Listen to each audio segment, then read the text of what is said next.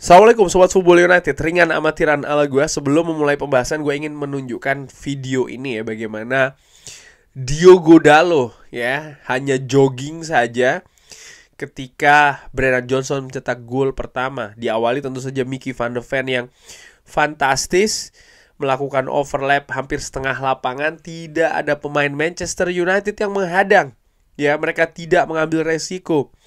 Dan ini proses gol pertama di dua menit awal babak pertama bukan awal yang bagus. Selanjutnya pertandingan selesai, Manchester United kalah telak ya. Tapi gue ingin menunjukkan video tadi itu. Kenapa? Karena uh, dari ESPN ada sebuah artikel yang ditulis oleh Rob Dawson ya bagaimana Erik Ten Hag dalam wawancara konferensi pers sebelum pertandingan menghadapi Tottenham Hotspur, dia mengatakan dia menginginkan 100% dari para pemainnya dari Manchester United. Dia mengatakan bahkan ya, saya harus jelas hanya 100% penampilan yang bisa memenangkan pertandingan. Tapi uh, um, ya itu tidak didapatkan menurut gue ya oleh Erik Ten Hag dan juga para fans. Um, ini merupakan jawaban sebenarnya uh, apa namanya permintaan 100% itu jawaban terhadap Christian Eriksen yang mengatakan kalau tim lawan FC Twente ketika itu berhasil menahan imbang satu-satu Manchester United ini menginginkan lebih. Jadi artinya mereka lebih menginginkan uh, per, bermain dengan lebih baik, hasil yang juga lebih baik, usaha yang lebih baik. Oleh karena itulah Erik Ten mengatakan menghadapi Tottenham Hotspur harus 100%, tidak bisa 100%. Tapi apa yang terjadi? Hal-hal seperti itu tadi, ya. Uh, ya, menurut gue juga banyak pemain yang secara individu katakanlah seperti katakanlah seperti itu tampil jauh di bawah performa bahkan jauh di bawah performa terbaiknya. Bruno Fernandes buruk sekali tampilnya. Diogo Dalo tadi juga berperan di gol pertama. Lalu um, Kobi Maino nyaris tidak berkembang sama sekali. Lisandro Martinez tampil buruk di belakang dan juga dalam build up ya.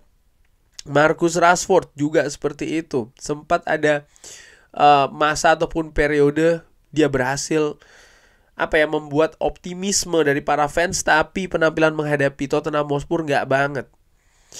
Um, Manuel Ugarte juga seperti itu pemain yang didatangkan diusahakan betul oleh klub sampai dengan periode akhir bursa transfer harga yang dibayar pun juga uh, cukup tinggi kepada PSG dan ya prosesnya itu betul-betul sangat rumit menurut gua seperti tidak berkutik. Uh, Erik Ten Hag di beberapa wawancara sebelumnya mengatakan ya ada keraguan ya, terkait dengan kondisi dari Ugarte apakah dia sudah siap atau betul secara kebugaran dan ketika kemarin menghadapi Tottenham Hotspur menurut gue itu jawabannya Ugarte kesulitan ya untuk bisa uh, mengcover area di mana pada saat itu Kobe Maino juga tidak tampil bagus. Di mana tim lawan tampil dengan agresivitas yang tinggi, berani tampil pressing yang tinggi pula. Kesulitan dia. Apakah mungkin ini ada situasi fisik ataupun seperti apa ataupun adaptasi di atas lapangan dan lain-lain itu bisa saja terjadi. Nah, yang ingin gue tekankan di sini adalah ada yang nggak nyambung ya antara Erik Ten Hag yang menginginkan pemainnya memberikan 100% dengan penampilan individu para pemain. Apakah ini berarti salah pemain? Nggak juga. Karena gue melihat tidak ada pola yang jelas juga nih dari sistem permainan yang diinginkan oleh Erik Ten Hag di pertandingan tersebut. Di mana gue sudah uh, katakan di review ya, formasi awal dan komposisi awal lebih tepatnya ya, membuat gue ragu sebenarnya juga bingung bagaimana mungkin dia menurunkan yang hampir sama seperti ketika menghadapi Liverpool. Di mana Tottenham Hotspur komposisinya mirip seperti apa yang diturunkan oleh Arne Slot dengan Liverpool ketika itu mereka menang 3-0 ya. Bahwasanya memang di um, dinamika pertandingan menghadapi Tottenham Hotspur ada dua gol awal di babak pertama dan juga babak kedua. lalu ada kartu merah juga di pertandingannya. Ya, menurut gua itulah sepak bola. Seharusnya Manchester United ataupun Erik ten Hag bisa memberikan apa ya? Uh, ya sesuatu yang bisa membalikkan keadaan tersebut. Tapi justru situasi semakin dalam menit terjadi terutama di babak pertama penampilan Manchester United justru semakin buruk. Di babak kedua tidak ada kesempatan untuk bisa bernapas panjang ya. Baru dua menit Manchester United sudah ketinggalan lagi. Dan menurut gua apa ya sebagai pelatih tidak boleh langsung melempar handuk ataupun merasa bahwa pertandingan sudah selesai. Walaupun situasi 2-0 maupun dia tampil dengan 10 pemain. Uh, ada beberapa percobaan tapi Manchester United bahkan gagal untuk bisa mencetak satu gol pun ya kan. Uh, jadi menurut gue tetap ada kombinasi. Dan dari situasi yang ada di atas lapangan ya, yang ingin gue soroti adalah dari situasi individu per individu jadi ada pertanyaan, yaitu adalah bagaimana situasi di dressing room. Um, gue sempat dengarkan podcast dari Rio Ferdinand di channelnya. Dia mengatakan dia berharap sebenarnya ada informasi bahwa ketika halftime itu ada kemarahan yang terjadi di dressing room. Ada perdebatan sengit, ada orang, ada pihak yang melempar sesuatu. Artinya tidak bisa tenang-tenang saja. Dressing room ini harus harus memiliki apa ya amarah. Karena Manchester United tampil buruk gitu ya. dan gua tidak berpikir gua gua juga belum dapat informasi tapi melihat bagaimana reaksi pemain di awal babak kedua ya ini seperti pengulangan apa yang terjadi di babak pertama ya. Dua menit kebobolan lagi gitu. Dan kalau dressing room ini memang sudah tidak sehat inilah juga salah satu faktor yang membuat Ole Gunnar Solskjaer, Jose Mourinho ini selesai di Manchester United. Karena dressing room. Akankah ini juga terjadi dengan Erik ten Hag? Ya, peluang tersebut menurut gua terbuka. Tapi, nah, ini juga dari sudut pandang lain. Gua melihat kalau memang itu yang terjadi, artinya dressing room lagi-lagi tidak tidak patuh, lagi-lagi tidak bisa dikendalikan oleh manajernya, ini seperti pengulangan. Di mana siklus tiga tahunan punya peluang akan berulang kembali, dan bukan hanya siklus tiga tahun yang akan berulang, tapi bagaimana para pemain yang ada kecenderungan ya throwing manager under the bus ini terulang lagi di Manchester United.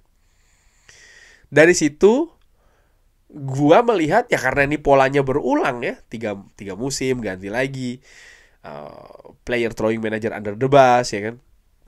Dari situ gue berpikir ya siapa pun yang menjadi pelatih dari ataupun manajer dari Manchester United selama situasi dari dressing room masih seperti ini selama manajemen juga tidak memperbaiki attitude dari para pemain di dressing room ya ini akan berulang lagi. Artinya manajemen baru bisa saja menunjuk manajer baru. Uh, setelah katakanlah misalnya menghentikan Erik Tenah, menyelesaikan Erik Tenah, bisa menunjuk calon interim ya kan dari gua nggak tahu dari Hake, Ruth Van Nistelrooy, siapa pun ataupun calon dari luar yang mungkin juga banyak disebutkan oleh fans ya kan A B C D.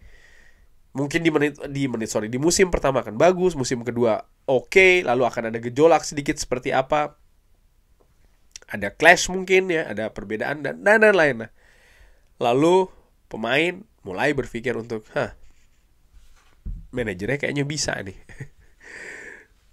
di throw lagi, dilempar lagi. Jadi menurut gua ini harus dilihat secara komprehensif oleh uh, ya oleh fans dan tentu saja oleh Ineos ya. Karena kalau berbicara terkait dengan solusi, gue selalu katakan bahwa solusi itu uh, tidak melulu mengganti, tapi juga bisa memperbaiki. Karena gua selalu berprinsip bahwa secara teknis siapa pun yang berada di Manchester United baik itu pemain ataupun staff kepelatihan, mereka sebenarnya memiliki kompetensi. Dan ketika kompetensi itu tidak bisa berada pada kapasitas yang tertinggi, review saatnya dilakukan. Apakah memang ada yang bisa diperbaiki? Ya diperbaiki. Tapi memang ketika perbaikan itu tidak mungkin dilakukan, baru mengambil opsi lain, yaitu diganti. Karena proses mengganti ini juga tidak murah. Baik itu misalnya mengganti pemain, contohnya ya menjual gitu ya, karena Manchester United biasanya mendatangkan pemain kan dengan harga yang tinggi ya kan gaji juga tinggi. Uh, ini kan proses yang tidak tidak murah dan tidak mudah juga. Artinya sebagian besar ada kerugian dari menjual pemain ya kan? Tidak mudah gaji mungkin ya kan? Apakah ada klub yang mau dan segala macam? Contoh misalnya kasus seperti Anthony Marshall ya kan? Uh, dan lain-lain sehingga harus menunggu kontraknya sampai habis. Ataupun juga dengan manajer gitu uh, ketika misalnya harus memecat ya ada kompensasi yang harus dibayarkan dan kompensasi itu tidak murah Manchester United dalam 10-11 tahun belakangan ini sudah terlalu banyak sekali membayar kompensasi untuk manajernya ya. Mungkin salah satu yang tertinggi di Inggris kalau tidak bahkan di Eropa. Jadi ini juga harus diperhatikan sih menurut gua.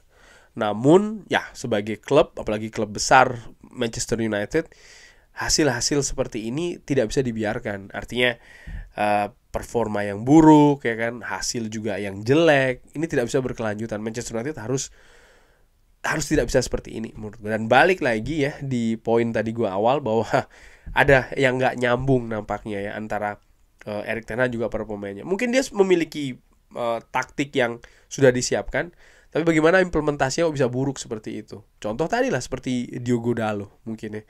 Uh, ini tidak bisa diterima sih menurut gue hal-hal seperti Diogo Dalo ini sangat tidak disiplin, sangat tidak fokus, sangat tidak konsentrasi. Di mana kalau tarik lagi ke belakang bahwasannya Uh, Manchester United sudah kebobolan berapa gol ya kan di uh, di musim ini hampir hampir semua gol yang terjadi itu ada kesalahan individu di dalam prosesnya menghadapi Liverpool misalnya. Jelas tuh ada kesalahan individu uh, dalam prosesnya. Lalu ketika menghadapi FC Twente golnya hampir sama ketika menghadapi Tottenham Hotspur.